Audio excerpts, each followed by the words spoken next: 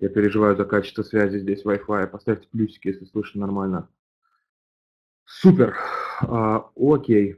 Окей, отлично, отлично. Рад, рад слышать. Спасибо большое, что присоединились а, послушать вот в этот холодный день. А, расскажу, сегодняшний мой рассказ будет про триггеры и про а, retention маркетинг. Вот постараюсь за а, короткий промежуток времени да, дать максимум информации вот, из собственных кейсов и своих наблюдений относительно на retention маркетинга. Вообще триггеры, а, если начинать сначала и вдаваться в описание – это автоматические коммуникации, которые возникают при а, наступлении каких-то событий в жизни клиента, при переходе клиента из одного статуса в другой, при совершении клиентов каких-то действий или при несовершении клиентов каких-то действий. Это автоматические коммуникации маркетинговые, которые а, ведут, разумеется, там, к там, нужной нам цели. И я там лично делю триггеры на, по по тем задачам, которые они выполняют, на два блока. Первое – это activation, второе – это retention. Вот activation триггеры служат для того, чтобы максимально а, увеличить а, конверсию из посетителя сайта в, собственно, целевое действие, будь то лид или там оформленный слэш оплаченный заказ.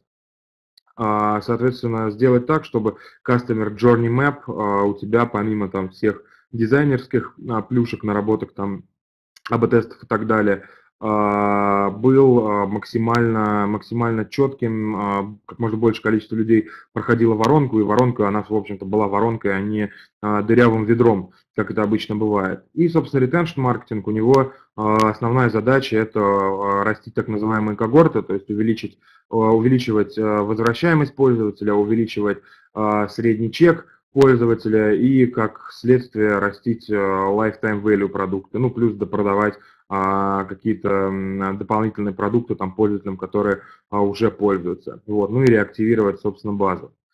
А, начнем, наверное, с а, activation триггеров, да, с триггеров, которые ведут к увеличению конверсии, и а, на самом деле это достаточно, насколько мы сейчас понимаем, острая проблема, которая стоит в российском маркетинге. Мы почему-то очень мало, на самом деле, людей, э, очень мало компаний уделяют достаточно времени тому, чтобы повесить, так сказать, триггерные коммуникации на свой флоу, то есть на, свой, на свои шаги заказов. Мы там недавно аудировали достаточно там, крупную компанию, вот, а, которая тратит а, там бюджеты сопоставимы там, с миллионом долларов в месяц на digital-каналы платные, вот, а при этом как бы стоимость привлечения заказов у них как бы зашкаливает.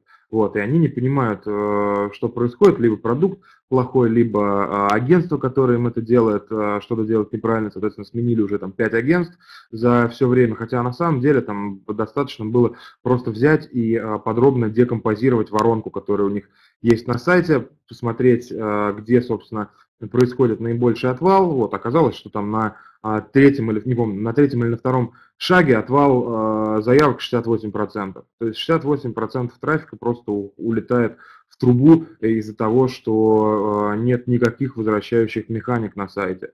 То есть нету, э, нету логики и культуры э, АБ-тестирования шагов заказов, нету логики триггерного возвращения людей и так далее. Сейчас, на самом деле, я могу просто нажать показ экрана, вот, из своего экрана презентацию загрузить, чтобы не ждать, она у меня есть. Ок? Отпишитесь, пожалуйста. Окей, так, секундочку. Вебинар скриншеринг.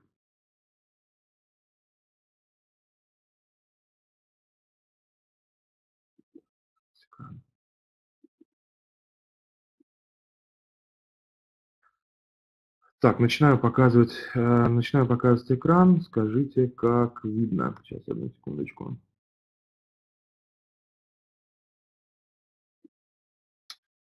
Видна ли презентация, ребят? Да, все, когда триггеры и связка с прямым маркетингом. Все, супер. Значит, смотрите, для того, чтобы вплотную заняться э, activation триггерами, э, необходимо в первую очередь понять, вообще, а из чего, собственно, состоит а, ваш а, flow заказа. Так, я сейчас немножко, немножко сверну, чтобы было, чтобы, если что, мне сигнализировали, в чате, если что не так. Вот, значит, в первую очередь понять, из каких шагов состоит ваш flow заказа, и самое главное, да, самое главное понять, что вы знаете о клиенте на каждом из эм, шагов, да, то есть какая, какие, какие данные э, клиент вам оставляет. А, как правило, как правило, э, на морде, так называемых, да, по, то есть на главной странице мы знаем о клиенте только там его куку.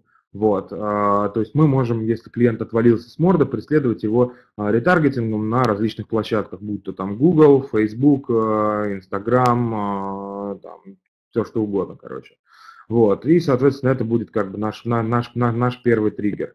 А, плюс на, если человек отвалился с главной страницы, мы можем дать э, ему возможность согласиться на отправку браузерных пушей. Браузерные пуши – спорный инструмент, вот, э, спорный, потому что э, некоторые считают, что э, он очень сильно раздражает клиентов и, можно, и может повлиять на конверсию. Да, действительно может, поэтому с ним нужно быть аккуратней. А, однако при а, грамотном а, сборе настройке пуш-уведомлений и нормальном сегментированной их последующей отправке, я могу сказать, что конверсия, что браузерные уведомления могут иногда добавлять плюс 1% к общей конверсии сайта. То есть 10% людей соглашаются получать браузерные пуши, и там в зависимости от э, предложения, которое вы в дальнейшем сможете в этом браузерном пуше дать клиенту, а, собственно, 10% из них возвращаются на сайт и делают покупку. Опять-таки, если э, грамотно соблюдено а, время отправки, креатив внутри отправки, понимаете, кому и что вы предлагаете. Браузерный пуш, на всякий случай, для тех, кто не знает, да, это такая назойливая штука, которая возникает при переходе на некоторые сайты и спрашивает у вас согласие на отправку пуш-уведомлений. Такие а, браузерные пуши в основном используются в медиа для того, чтобы они потом могли там за счет breaking news или всяких дополнительного контента возвращать людей, собственно, на сайты. Но и нередко браузерные пуши еще используются в e-commerce для того, чтобы информировать э, пользователя о распродажах. По сути, тот же самый email, вот, только э, немножко другой формат. Хорошо, что сейчас э, ряд платформ вот, э, позволяют э, делать э, кастомизированные пуши. Во-первых, встраивать форму сборки пуша в там, флоу заказа. Например, грамотное очень использование пуша в, например, оформлении банковских продуктов, или если вы если у вас, например, длинная анкета, вы можете собрать согласие на отправку пуш-уведомления под соусом, что, ребят, мы оповестим вас о статусе заявки. Очень хорошо работает, особенно в банках.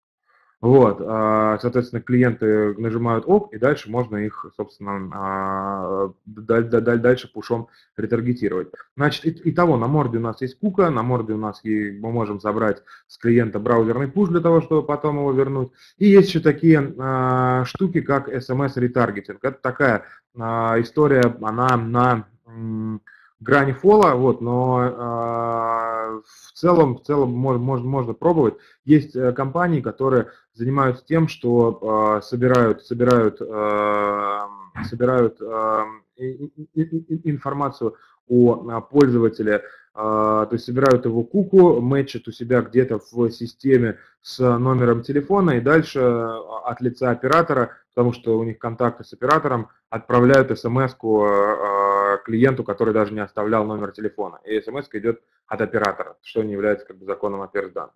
Вот, но это такое, на грани фола инструмент, за него клиенты могут вас не благодарить. Но я все равно, тем не менее, его укажу, потому что нужно указать все возможные способы. Дальше на шаге первом, а, как правило, как правило, мы собираем у клиента телефон. И телефон, и я всегда настаиваю а, в любой, любых заявках сделать так, чтобы телефон шел первым полем. То есть вам не так важно имя человека, как важен телефон, не так важен email, как важен телефон. Сейчас объясню почему. А, телефон а, можно использовать э, кучей способов. На телефон, значит, можно написать смс если вы э, собрали предварительное согласие. Телефон можно отправить сообщение через э, программы, которые осуществляют услуги мессенджер-маркетинга, например, там TextBack, да, или там еще ряд компаний. То есть можно догнать пользователя в мессенджере. на телефон можно позвонить. Вот. И действительно звонки а, по тем, кто отвалился, работают очень хорошо в России. Несмотря на то, что хочется считать всегда, что ваш клиент это такой человек, который любит там общаться в поддержке или э, там в чатике, Телеграме, но на самом деле телефон это очень крутой способ э, вернуть пользователя обратно и допродать ему услугу. В России по-прежнему телефонные звонки очень хорошо работают. И э, зачастую на сайте ты не можешь снять все основные страхи пользователя. Вот, а когда ему звонит твой сотрудник, вот, он может порционно, а, отработать возражение, б, рассказать, собственно, более детально про продукт, с, э, отработать негатив какой-либо, который есть у пользователя, ответить на его там кастомизированные вопросы, на которых он а, не нашел ответов. Я просто дам пример, мы когда в Clean а, внедрили, то есть раньше у нас работало как? А, отвалился пользователь, оставив нам номер телефона, мы ему через час отправляем смс со скидкой 15%, еще через 3 а, часа отправляем смс со скидкой 30%. Ну и худо-бедно эта история работала, давала нам там по 7 заказов новых в день, вот. Но когда мы поняли, что выходим на плато с точки зрения маркетинга, и каналы были перенасыщены, и стоимость привлечения клиента по последнему клику, по последнему взаимодействию зашкаливала, мы решили, а что, если нам а, не начать обзванивать клиентов, то есть тех, кто отвалился, звонить им. Взяли неделю на выборку, посадили двух людей из классического нашего, ну, на колл-центр, который занимался, собственно, обработкой входящих звонков, и сделали быстрый тест, через сколько нужно звонить человеку после отвала для того, чтобы он сконвертировался. Вот, во-первых, поняли, что ну, самое лучшее время это 5 минут.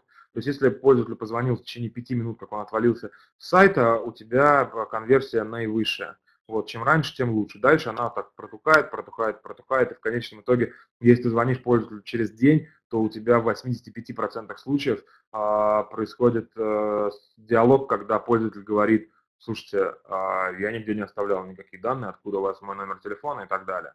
Вот. Так вот, а, по звонкам а, конверсия в заказы была фантастически крутая. Вот. И поэтому там сейчас даже в Clean, Clean, sorry, это сервис уборки вот, квартир, я просто в нем принимал участие как директор по маркетингу, да, сейчас у меня там доля. Вот, поэтому я люблю всегда рассказывать на базе клина, потому что мы там много чего попробовали интересного.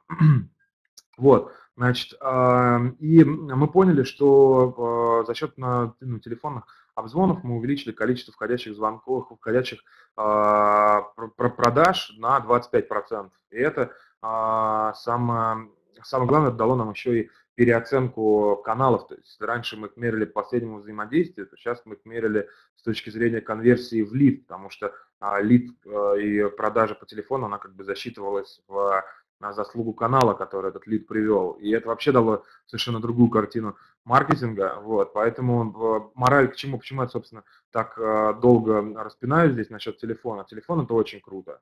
Вот. Телефон это э, данные, которые позволяют делать очень много интересных вещей. Вот это самый конверсионный канал. Понятное дело, что на втором, э, следующем шаге там важно собрать email, и все знают, как работать с имейлами. Я, тем не менее, уделю в сегодняшнем вебинаре этому там отдельный блок, расскажу, чем мы тестировали по имейлам, там свои личные наблюдения и так далее. Ну и на последнем блоке, собственно, адрес. Да? Ну, адрес понятно. Что мы можем делать с адресом? Не знаю, почтой России направить триггерное письмо. Вот, э, иногда это, наверное, может сработать. Вот, но в целом, там, если у вас большая база клиентов, то адрес а, по клиенту может вам дать какие-то ну, более интересные сценарии, типа в, в этом районе сегодня скидки, не забудь, а, не забудь оформить заказ. А, что еще, про что еще хочется сказать? А, триггеры можно настраивать в зависимости ну, по маржинальности, да, потому что вы только вы понимаете, какой продукт приносит вам больше, какой меньше, и, соответственно, а, обязательно нужно а, заранее планировать тот размер скидок, который вы в триггеры запихнете. Да? То есть, если пользователь ушел, то, очевидно, наверное, ему нужно дать какое-то скидочное предложение. Не всегда, но в большинстве своем. И эти скидочные предложения, разумеется, их нужно тестировать, вот, чтобы сохранять баланс между там, объемом, траф... объемом заказов, которых вы а, приведете, да, и там, вашей юнит-экономикой. А на что хотел еще здесь обратить внимание? Погодные триггеры. В России вообще русский человек а, очень чувствителен к погоде. Вот, и это удивительно, причем это работает там не только в там, бизнесах, которые там непосредственно имеют э, сезонность, да, как, например, там продажа а, там, велосипедов, но когда там в позапрошлом июле, я помню, а нет, в прошлом июле, я помню, в июне в прошлом был один единственный денек, солнечный, да, все остальное было вот, ну, как сейчас примерно. А, мы, запустив э, рекламную кампанию и рассылку по базе, продали за один день, там, по-моему, 500 велосипедов вот, э, только по Москве, это для компании Кант. Вот. Э, доставки еды, например, э, при плохой погоде там маркетологи прыгают до потолка, потому что доставка еды напрямую коррелирует с плохой погодой. Чем хуже погода, тем выше показатели. Вот, то есть люди заказывают к себе а, домой еду, ну и та же самая история там с сериалами, выходные и так далее. Вот, из торговыми центрами. Вот, поэтому, да, русский человек чувствительный по погоде. Можно сейчас у Яндекса есть опишка, по которой можно посмотреть вообще на то, как э, ваши пользователи, э, sorry, как ваши пользователи реагируют на погоду для того, чтобы попробовать э, поделать эксперименты с этим. Э, соответственно, когда вы понимаете, что у вас э, есть э, данные о человеке, э, ну, имеется в виду там номер телефона, имейл и так далее, а, рисуется так называемая триггерная карта. То есть берется сегмент клиентов, например, отвалился с имейлом и с телефоном, а, не завершив заказ, и, собственно, прописывается логика действий.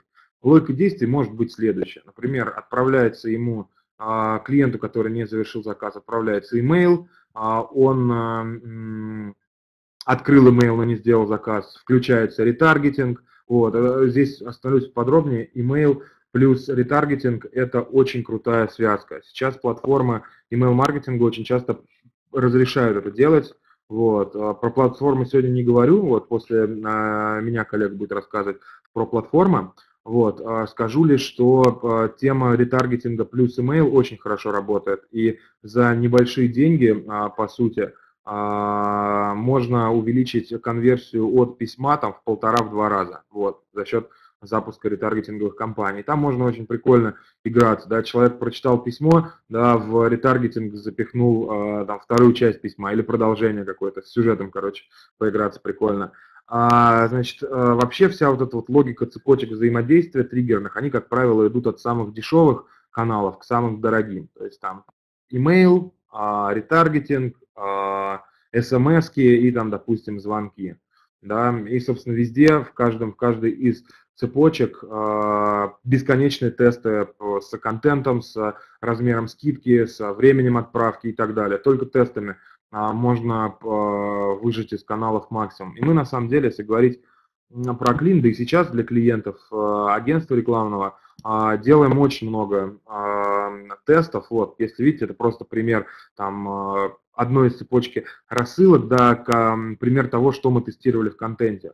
В контенте писем, email. Мы тестировали размер скидки, цвет плашки, фотографии против графики, графики, кнопки, зачеркнутые цены, вообще отсутствие текста в письме, прихедеры, сабжекты, надписи на кнопках и так далее. Вот. И э, благодаря там тестам вывели для себя там единый формат, в котором теперь, собственно, подается а, информация а, клиентам. Вот. И а, что интересно, эти форматы зачастую нужно менять. То есть мы сейчас для клиентов, для своих в среднем меняем там, формат шаблон письма где-то раз в квартал, вот, потому что они просто выгорают, но перестают люди реагировать на них, потому что привыкают к привычному формату. И вот здесь есть два письма, слева тоже есть кнопка, на самом деле, я никак ее в презентацию не могу вставить. Вот представим, что на кнопке написано там то же самое. Вот как думаете, а, какой, а, какой вариант э, письма круче, слева или справа? Пишите, если залево, пишите один, если заправа, пишите два.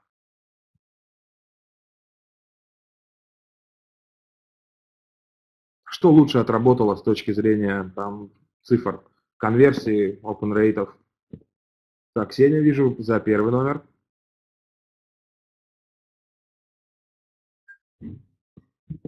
Кто-нибудь, все, все остальные, все остальные решили воздержаться?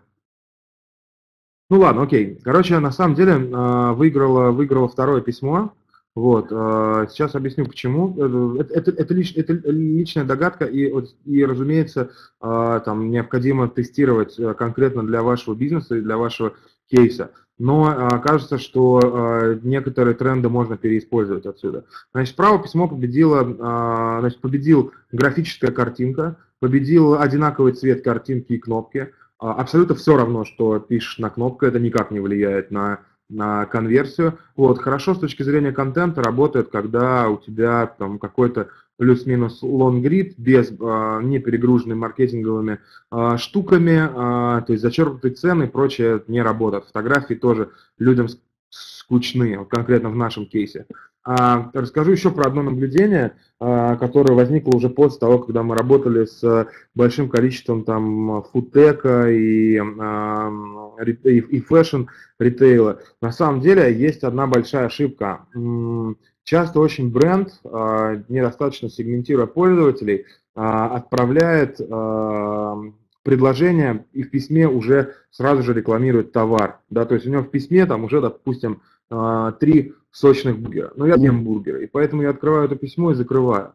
Поэтому на самом деле задача письма, как мне кажется, она в первую очередь заключается в том, чтобы продать переход на сайт. А задача сайта, она уже заключается в том, чтобы, собственно, продать продукт. Вот. И мы руководствуемся обычно этим правилом в составлении писем, и это работает. Вот. Интересно, как будет работать в вашем случае, вот, но э, кажется, кажется, кажется, что это там, ну, про, про правильная гипотеза.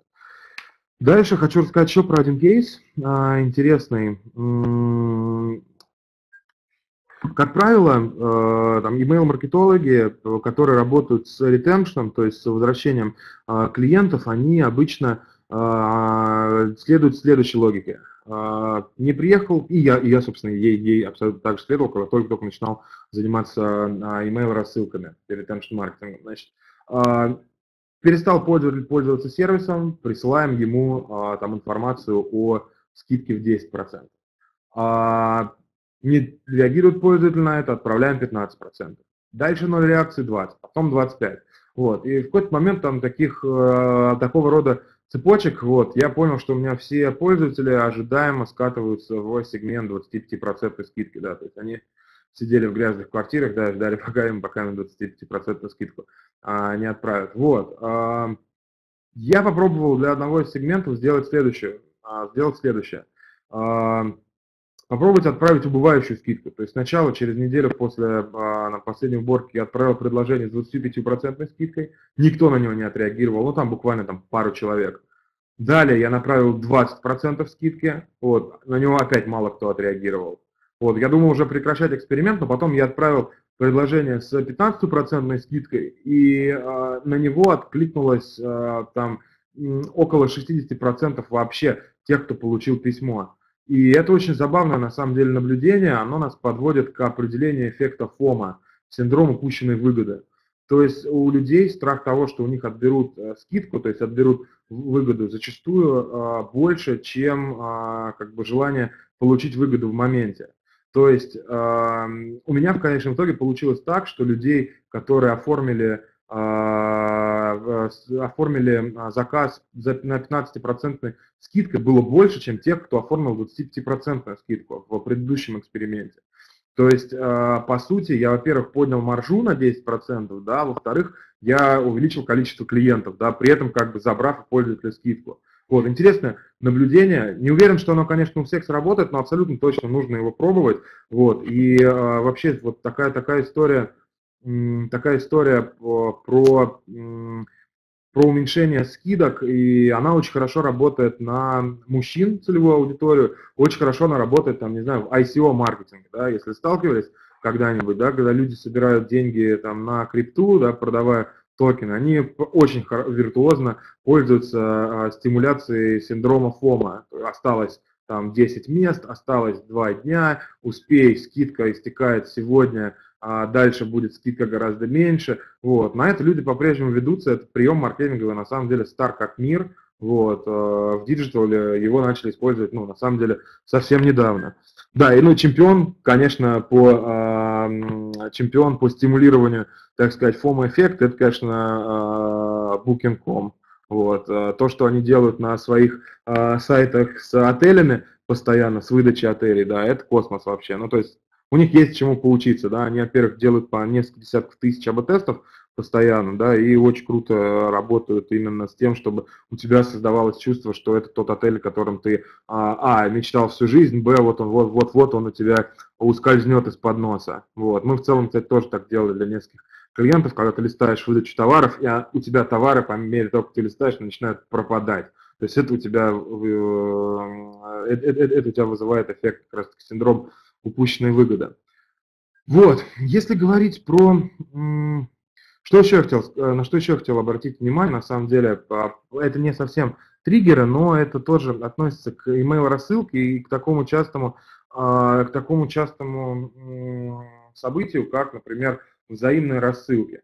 А взаимные рассылки – это когда, например, у меня есть магазин, который продает игрушки, да, у моего а, там приятеля есть магазин, который продает детскую одежду. Одна и та же целевая аудитория. А, давайте сделаем а, я по своей базе рассылку про магазин приятеля, да, он по своей базе рассылку про мой магазин. Обычно договариваемся, делаем рассылку, в итоге ничего не происходит, да, но все ушли с чувством выполненного проекта. Вот как из этих рассылок получить максимум? Потому что у нас тоже была эта проблема, мы очень верили в кросс-промо канал, в принципе, в клине, да, потому что, ну, платежеспособная аудитория, миллениалы, вот, которые заботятся о своем времени, да, то, как бы, а медиатеки та же самая аудитория. Я, в принципе, люблю этот кейс раз вот, ну, рассказывать на примере о медиатеке, потому что у нас с ними был самый успешный кейс.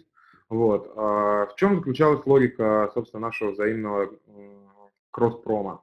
Значит, мы пришли к медиатеке и сказали, ребят, а, смотрите, у вас есть э, смотрите, мы готовы заплатить за каждого нового клиента полторы тысячи рублей. Какое, что мы можем купить у вас на полторы тысячи рублей? Они говорят, ну, у нас полторы тысячи рублей стоит три месяца подписки. И, э, я сказал, а давайте тогда сделаем следующим образом. Э, вы рассылаете по своей базе информацию о том, что э, уникальное предложение, три месяца подписки на медиатеку э, за заказ уборки в клин. Плюс 20% скидка на первую уборку. То есть что произошло? Таким образом, а, э, Амедиатека, э, партнер наш, а, своим клиентам предложил а, вознаграждение в той валюте, в которой они привыкли его получать. Да? Клиент Амедиатеки, три месяца подписки Амедиатеки, для него очень понятная выгода. Клин для него не очень понятно, да, но к этому мы его аккуратненько подводим через то, что клиент достаточно хорошо понимает. И а, вот эта вот штука, она выстроила очень круто. То есть если, если мы и клиент значит, получил 3 месяца подписки, получил скидку на уборку, мы получили по заданному нами а, CPO, стоимости привлечения, нужное нам количество клиентов. Клиентов было действительно очень много, там ну, несколько сотен.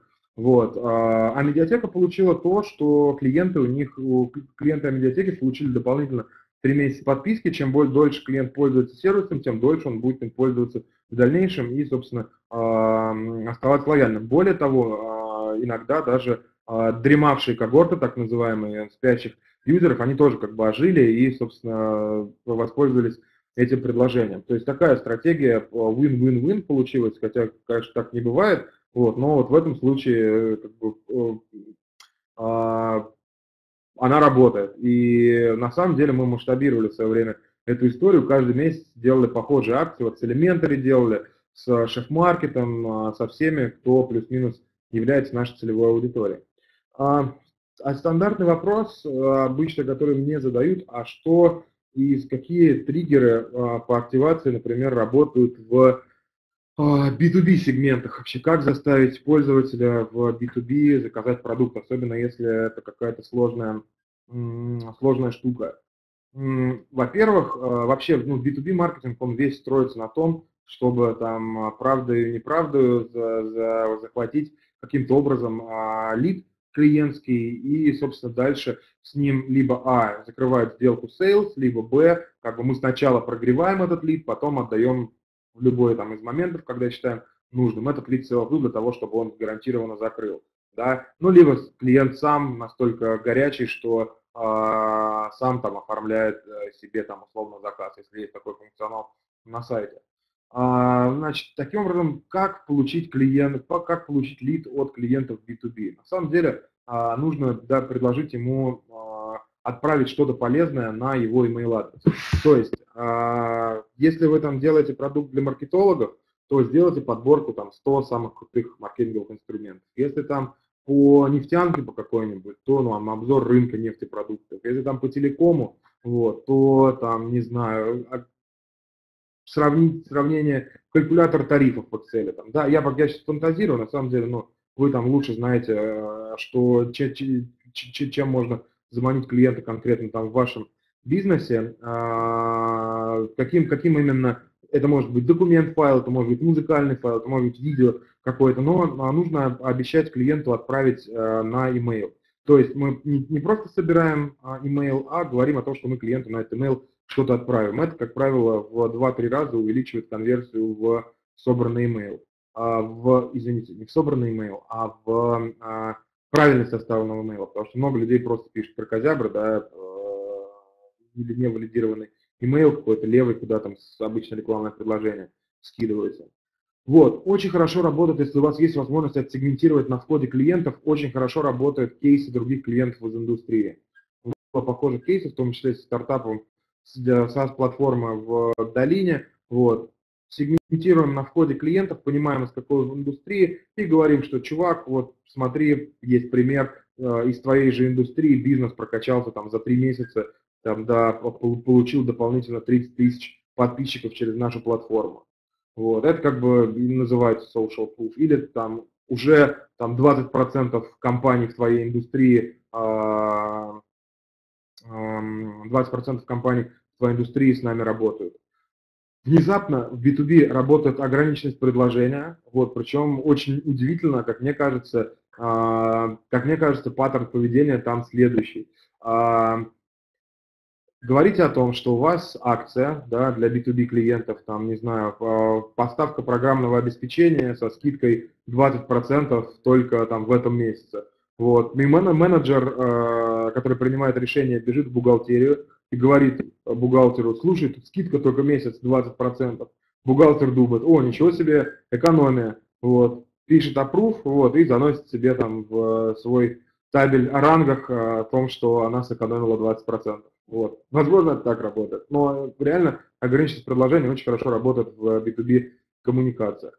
Так, про полезный контент в обмен на контактные данные сказал. А, вот еще стоит сказать наверное, про определение оптимальных точек касания. Ну, во-первых, э, то есть нужно не перегреть э, клиента, то есть э, давать ему сначала какие-то, когда ты ставишь цепочку сообщений после того, как у тебя есть лид, нужно давать обязательно полезности сначала, и только потом аккуратно подводить его к продаже. Например, можно сделать два очень полезных лонгрида письма про решение проблем клиента из индустрии. А дальше в следующем письме можно опубликовать статью, но сказать, чтобы клиент перешел на сайт и ее прочитал. Почему это делается? Потому что для того, чтобы клиент еще раз а, коснулся ваш сайт, посмотрел, полазил, возможно, по нему, и чтобы можно было его ретаргетингом преследовать. Дальше может быть попытка продажи. Если попытка продажи не получилась, значит нужно долбить клиента полезностью, кейсами из индустрии и так далее, периодически уводя на там, диалог э, с сейлзом. Это что касается активации. А, что касается ретеншена, на самом деле а, у меня нет готовой презентации под это дело, но я сейчас вам а, покажу кое-что. На самом деле, самое, самое, самое главное в retention маркетинге это правильная сегментация. Вот. И почему-то очень много людей про а, нее говорят на конференциях, а, но мало кто по-настоящему по, по заморачивается этим. Причем а, часто очень даже крупные клиенты, у которых очень крупные, очень крупные бизнесы, у которых есть большая база клиентов и большое количество информации по клиентам, неправильно сегментируют их. То есть не сегментируют их в формате формате, вот у этого клиента один продукт, у этого клиента там два продукта наших.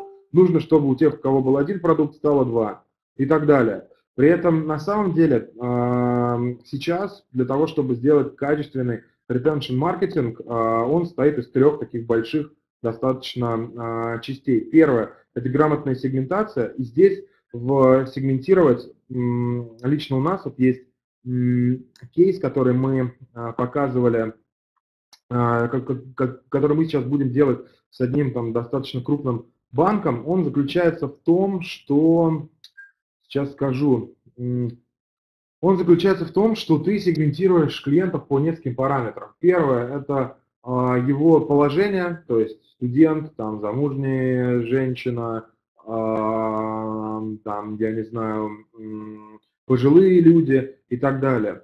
Второе, ты сегментируешь его, разумеется, по пенетрации продуктов, да, там, в том конкретном случае, там, это речь идет о банковских продуктах. А, и третье, ты сегментируешь его по жизненному этапу. И если у тебя по жизненным вехам, так сказать, ну вот, и если у тебя а, есть информация о клиенте по поводу поведения, да, у банков, например, эта информация есть, у телеком-операторов эта информация тоже есть, да, а вы видите, что клиент начинает больше тратить на определенной категории. Клиент, например, по транзакциям можно понять, что он собирается жениться, да, или что у него ребенок, да, по там, транзакциям, которые осуществляет клиент или коммуникации, которые он делает, или там клиент находится, а, там, не знаю, в момент начисления зарплаты, да, 5-15 число, можно тоже сегментировать клиентов и предлагать им а, разные услуги и продукты адаптированные. То есть, значит, смотрите, сегментация, момент, то есть время, когда клиенту нужно это отправить. Третья история очень важная, это креативная стратегия под каждый сегмент.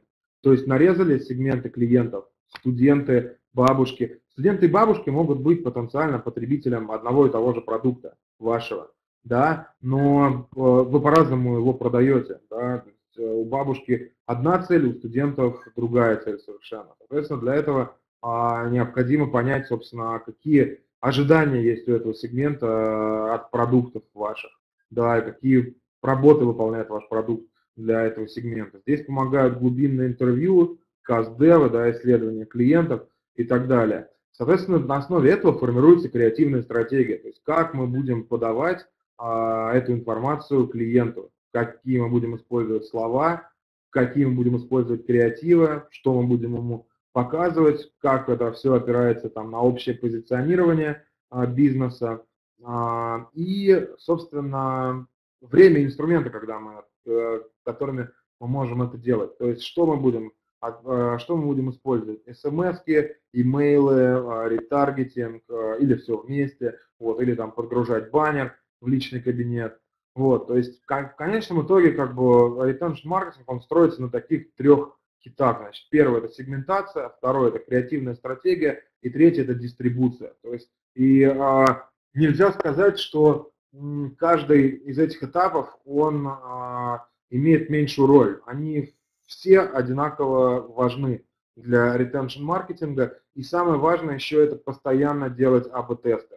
То есть в любых коммуникациях, будь то email, браузерные пуши, смс, вот, а, необходимо делать АБ-тестирование, проверять, смотреть на данных, корректировать из-за этого модель, корректировать иногда из-за этого а, креативная ваша составляющая. Вот. Но сейчас, вот, если вы выполните а, нормально вот эти вот весь, каждый, точнее, из этого блока работ, то тогда а, гарантированно у вас, а, во-первых, там retention маркетинг это эм, тот маркетинг, который в моменте приносит прибыль, то есть ты отправил письмо, ты уже получил какую-то выручку, да, поэтому его там, там целесообразность и ценность его для бизнеса, она там должна быть понятна всем, и вам там, и вашему руководству, тем, кому вы продаете эту историю. Вот. Э, и из retention маркетинга можно выкачивать э, выручку практически бесконечно. Самое главное – это не пережечь базу. То есть э, типичная ошибка банков, она заключается в том, что там, несмотря на то, что у них сидят там и там люди, которые там предиктивной аналитикой занимаются, и там дата-сайентисты, вот, но глобально все, что они делают, это просто постоянно прогоняют разные аудитории клиентов через скоринг, да, и выдают э, и отправляют письмо, вам, вам приодобрен кредит. Потом клиент приходит, да, кредит ему не дают. Но это не важно, да. а, в целом вообще. Вот такой подход, он уже перестает работать, да, потому что ты выжигаешь базу, потому что всех долбишь постоянно одним и тем же предложением и не решаешь абсолютно клиентских вопросов. И а, Б, он не работает, потому что ну, персонализированная коммуникация, она очень важна. Вот, это на самом деле там плюс-минус все, что я хотел э, рассказать. Давайте м, уделим там минут пять времени вопросам, вот, и перейдем тогда, наверное, к следующим спикерам. Так что жду ваши вопросы, ребят, если есть. Да, кстати, на всякий случай. А...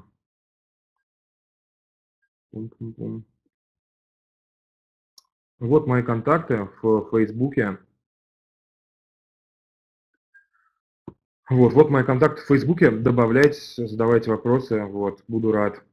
Что интересно можно сделать с доставкой еды? О, на самом деле, мне кажется, много всего. Плюс еще зависит от э, сегмента, да, потому что а, там, например, пицца и суши чаще заказывают э, в пятницу, субботу и воскресенье, да, если это, если вы оперируете на, э, там, о, аудитория ваша это офисные сотрудники, да, то, а, разумеется, в обед нужно показывать им там баннеры, которые выделяют максимальное слюноотделение вот, для того, чтобы они заказывали. То есть тут важно очень маркетингом попасть в голод вот, и заставить человека сделать заказ когда он голодный. Если мы говорим про,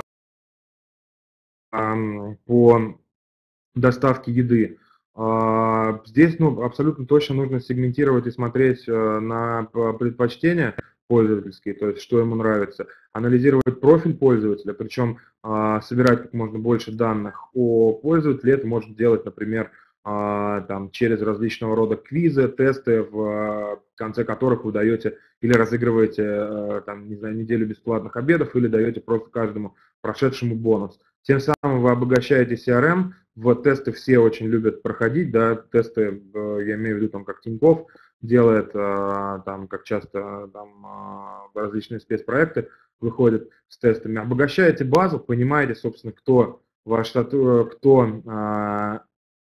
ваша целевая аудитория, и в зависимости от этого понимаете, то есть на что давить, да, если это там семьянин с небольшим доходом, да, вы можете ему предложить какой-нибудь пак, а, там, типа, а, закажи сразу на месяц, да, получи скидку 15%, да, какую-нибудь такую подписочную а, модель, а, там опять-таки нужно, нужно 100% экспериментировать с контентом, который вы отправляете, а, то есть с контентом и с э, временем отправки.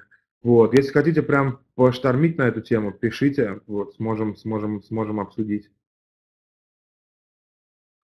Да, идея на самом деле, на самом деле в retention маркетинге типа все очень просто. То есть а, вообще доста, доста, до, достаточно просто, просто иногда а, включить логику и декомпозировать, э, декомпозировать воронку и письма, и, в принципе, и, и, и, и все будет окей, потому что retention маркетинг – это канал, в котором вы там практически не рискуете своими деньгами, да, в отличие от там перформанс-маркетинга, вот, поэтому и можно делать большое поле экспериментов, то есть вы гораздо больше инсайтов получите, когда начнете что-то делать ручками и э, на живой аудитории, э, собственно, и на живых данных э, сможете уже при, принимать решения там, по следующим тестам и по автоматизации.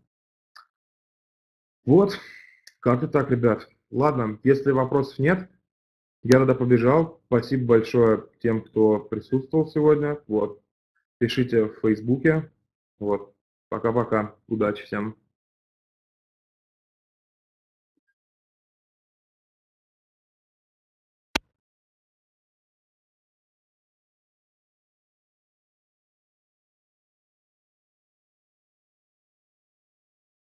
день. Спасибо большое Роману.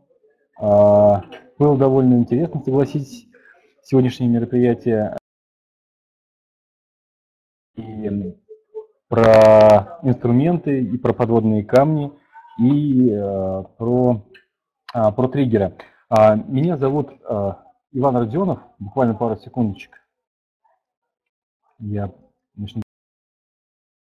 Коллеги, демонстрацию видно? Презентация видна, если да, то нажмите плюсик в чат. Угу. Ксения, спасибо.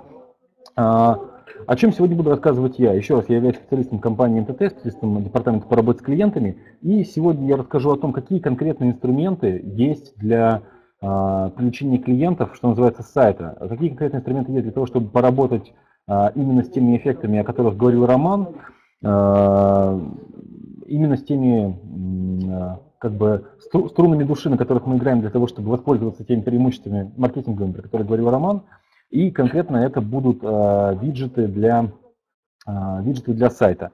Э, от компании MTT, те виджеты, которые мы предоставляем нашим клиентам, те виджеты, которые, которые собственно говоря, используются. У нас есть некоторый набор, о них я сегодня расскажу. Начну я, собственно, наверное, с того, о чем Роман говорил в самом середине своего доклада – это о том, в чем заключается главная задача сайта. Главная задача сайта на самом деле является продать продукт. Э, и это то, к чему мы стремимся э, довести наши сайты. Э, это то, для чего сайт существует, в большинстве своем, разумеется. Но зачастую бывает, что даже, даже успешные с точки зрения продаж сайты оказываются на них такие, то есть их посещают такие люди, которые в конце концов уходят, так ничего и не купив. Тут нужно разобраться, почему такое вообще происходит. Э, отчасти связано с тем, что для некоторых пользователей это все-таки момент, когда пользователь ищет где дешевле. Бывает, что э, пользователь просто сомневается, купить у нас или не купить.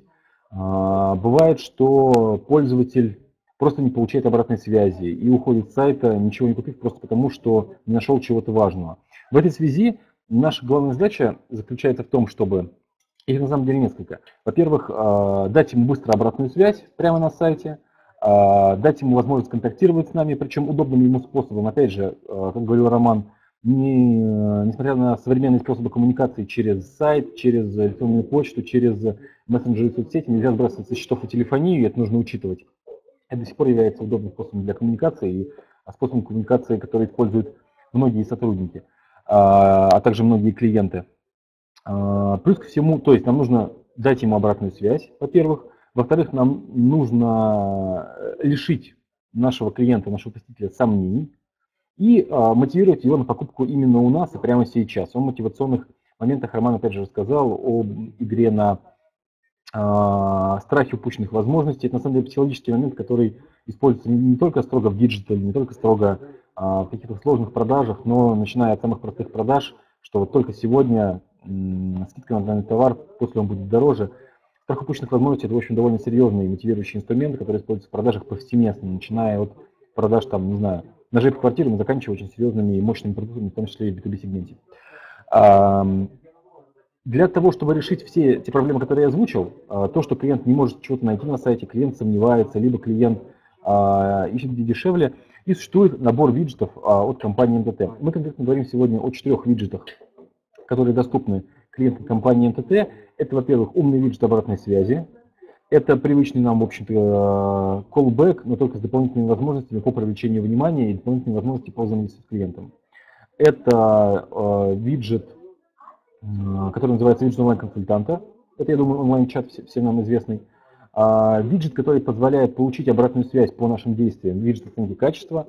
Ну и, разумеется, то, о чем э, говорил Роман, э, инструмент, который позволяет э, играть на, на страхе упущенных возможностей, виджет, который называется «Стадное чувство». Ну, он такой вот, в общем, имеет, имеет такое, что называется, красиво говорящее название. Но о нем я тоже расскажу отдельно, о том, что, какие возможности у самого виджета у этого есть. Начну я, собственно, с виджета обратной связи. Самое главное и самое первое, что делает а, умный виджет обратной связи, а, умный виджет обратной связи дает возможность э, клиенту получить обратную связь прямо здесь сейчас. То есть в рамках умного виджета обратной связи первое, что происходит, а, появляется иконка на его экране с предложением заказать обратный звонок. То есть первое, что мы делаем с нашим клиентом, пока он находится на сайте, мы привлекаем его внимание. Мы сохраняем внимание клиента на сайте, делаем так, чтобы клиент остался на сайте, что важно в первую очередь. А, далее у нас есть возможность настроить виджет согласно а, полностью, ну, что называется, стилистике а, и тому, как мы видим лучше для наших клиентов в рамках всего нашего сайта. То есть можем настроить само, само алгоритм появления виджета, в каком режиме он будет появляться, с этим тоже можно поэкспериментировать. Когда э, попробовать сделать так, чтобы виджет появлялся только в конкретные дни. А, в случае той же самой доставки еды попробовать сделать так, чтобы виджет появлялся, например, строго перед обедом. Вот. Плюс ко всему мы можем настроить э, сами цветовые схемы, как наиболее располагающие и наиболее соответствующие дизайну нашего сайта. Мы можем настроить алгоритм появления, мы можем настроить алгоритм поведения виджета. Что у нас будет собираться в самом виджете. То есть, во-первых, кнопка самого виджета приглашает нас оставить номер телефона, на самом виджете могут быть, может быть содержана самая различная информация. Во-первых, а, сам виджет может работать таргетированно с геотаргетингом, как опять же говорил Роман. Мы можем отслеживать, например, город, с которого пришел клиент, и давать ему возможность, э, ну, что называется, почувствовать, почувствовать активность на сайте путем отображения ему а, а, характерной информации, актуальной для его, для его города. То есть, например, Здравствуйте, хорошая погода в Нижнем Новгороде сегодня, например. То есть можем э, город пользователя в родительном падеже отобразить в этом самом виджете, в том числе. Э, мы можем на виджете отобразить каналы связи удобные ему. То есть, чтобы по виджету клиент мог не только нам позвонить, а щелкнув по этой самой кнопке, которая привлекает внимание, мог написать нам в удобный ему соцсеть либо мессенджер. Плюс ко всему, э, у нас есть возможность э, на самом виджете оставить наши контактные данные. Сделать так, чтобы прямо щелкнув по виджету, человек увидел, где мы находимся, картами, выбрал удобный ему способ расположения одного из наших офисов и подъехал к нам, например. Ну и, разумеется, сам по себе виджет дает возможность позвонить нам. То есть а, позвонить нам в режиме, похожем на режим 8800, когда клиент просто заказывает звонок, а, и звонок бесплатный для него приходит ему за какое-то небольшое время. Вот. Либо заказать отложенный звонок, если, опять же, клиенту это удобнее. То есть, во-первых, мы этим виджетом удерживаем внимание клиента на сайте при помощи кастомизированной кнопки под нас – во-вторых, а, мы при помощи этого виджета даем клиенту обратную связь, а, организуем его бесплатный звонок нам и посетителя делаем больше вероятности нашим покупателям. Это об умном виджете обратной связи. А, немного о виджете онлайн-консультанта. Виджет онлайн-консультанта – это привычный нам, в общем-то, чат. Он так же, как и виджет, виджет обратного звонка привлекает внимание, но дает возможность клиенту пообщаться с нами через чат. То есть дает возможность клиенту, если он не хочет, например, а, просто разговаривать, не хочет а, пускать нас в свое, что называется, аудиопространство, такое встречается все чаще и чаще все-таки в диджиталном дворе, появляется возможность для клиента просто написать нам. Это еще одно средство для того, чтобы сохранить нашего клиента, во-первых, оставив его на сайте, привлечая его внимание, а, а во-вторых, это возможность предоставить клиенту удобный канал, удобный канал коммуникации и сохранить клиента, как бы э, закинув его в свою воронку за счет создания удобного канала коммуникации для него. Кроме того, личный кабинет онлайн-консультанта э, может в себя аккумулировать не только э, сообщения с виджета онлайн-консультанта, но и может, э, помимо прочего, аккумулировать сообщения из соцсетей и мессенджеров. И помимо прочего, что важно, для небольшой компании – а, или компания, которая хочет, хочет попробовать данный виджет, сам виджет с одним рабочим местом онлайн-консультанта а, не стоит вообще ничего, то есть он бесплатный и бессрочный. Это по виджету онлайн-консультанта. Немного, ну да, об омниканальности кабинете оператора. В кабинете оператора доступны не только сообщения из чата, но и сообщения из соцсетей и мессенджеров. Немного о стадном чувстве. Как говорил э, Роман, э, ну, наверное, примером использования стадного чувства является Booking.com, который э, всячески играет со всплывающими сообщениями, дает нам э, понять, что э, данное предложение является для нас идеальным, и данное предложение ограничено, и таким образом осуществляется игра на наших э, игра на нашем страхе упущенных возможностей. Здесь мы можем выдавать клиенту как маркетинговые акции в виде всплывающих окон, так и э, различного рода маркетинг, э, различного рода сообщения вроде а, «Николай из вашего города только что купил на нашем сайте бензопилу стоимостью столько-то». Или, например, а, «Торопитесь, по скидкам 70% осталось последних 5 телефонов». Или что-нибудь вроде того. То есть здесь мы можем использовать всплывающие окна а, по, во-первых, необходимым нам сценариям, если клиент, например, просто долго находится на сайте, что-то изучает, если клиент пытается уйти с сайта, может быть всплывающее окно, и, по прочим, если клиент прокручивает страницу сайта до конца вниз или, скажем, больше половины, то есть по поведению клиента на сайте мы можем настроить те сообщения, которые будут всплывать в рамках виджета стадного чувства. Таким образом, мы можем а, влиять э, при помощи этих сообщений на различную целевую аудиторию, то есть таргетировать ее по нашему желанию. Таким образом э, работает и стадного чувства, плюс ко всему, для того, чтобы не выдавать одни и те же сообщения всегда, мы можем по разным а, правилам выдавать разные сообщения в виде стадного чувства, либо можем выдавать одно и то же сообщение с, а, с подстановкой разных значений, например, в теге телефон. То есть в одном случае у нас всплывет сообщение с, с тегом iPhone X, в другом случае у нас всплывет сообщение с телефоном Xiaomi Mi 6, например. Вот. Это что дает вид стадного чувства. Кроме того, разумеется, существует определенная статистика в личном кабинете, которая позволяет отследить, сколько конкретно у нас было переходов по той или иной рекламной кампании, отследить информацию по, а, а, по меткам, а, откуда пришел клиент, из какого региона и так далее, отследить информацию по менеджерам, сколько менеджер принял звонков, сколько звонков было осуществлено, информацию по чатам, информацию в разрезе каких-то рекламных кампаний и так далее, и так далее, и так далее. То есть мы можем полностью проанализировать работу виджетов. Ну и, разумеется, существует виджет обратной связи, который нам позволяет а, посмотреть обратную связь от наших клиентов о сервисе нашей компании, которая может быть осуществлена двумя способами. Либо на самом сайте после осуществления контакта в виджете онлайн-консультанта, либо может быть отправлена смс после звонка в рамках виджета обратной связи. СМС с ссылкой на прохождение опроса и мы можем получить опрос от нашего клиента, что тоже хорошо. А, если говорить в целом о целесообразности использования данных виджетов на сайте, немного расскажу под конец о целесообразности и о а, ценовой политике самих виджетов. А, эм, целесообразность использования виджетов на сайте. Я задавал вопрос специалистам по продуктам нашей компании, компании МТТ, насколько целесообразно вообще использование виджетов, насколько большую отдачу мы ожидаем от них при потоке клиентов на наш сайт.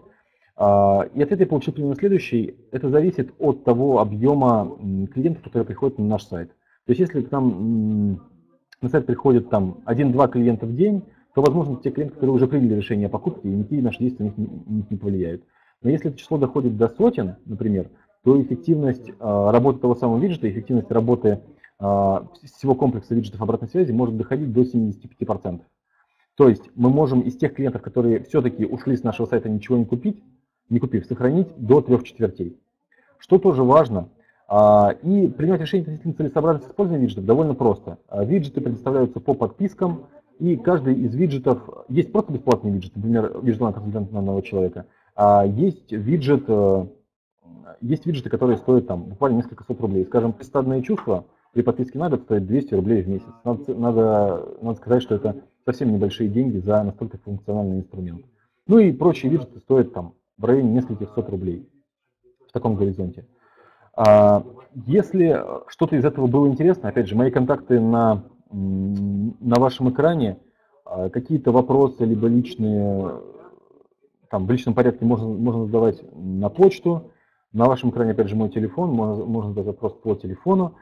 А, если есть какие-то дополнительные вопросы или есть желание пользоваться услугами компании МТТ, можете опять же написать, я адресую ваш запрос а, куда нужно. Давайте, наверное, еще несколько минут уделим вопросам от аудитории. Если какие-то вопросы есть по использованию виджетов, а, по условиям предоставления, пишите в чат, пожалуйста.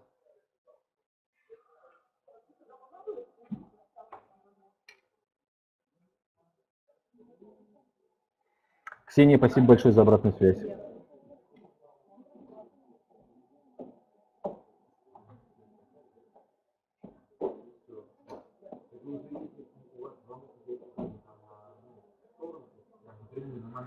Что, коллеги, хорошо. Спасибо большое за внимание. Большое, большое спасибо за внимание продуктам компании МТТ. Надеюсь увидеть вас среди наших клиентов. Всем еще раз спасибо. Было, было очень интересно. Всего доброго и хорошего вечера.